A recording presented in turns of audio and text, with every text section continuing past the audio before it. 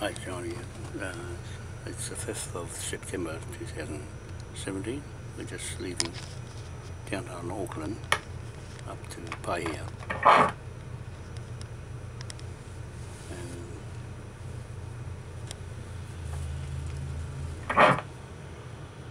this will be the first time I've been on this this run. So that's what it looks like.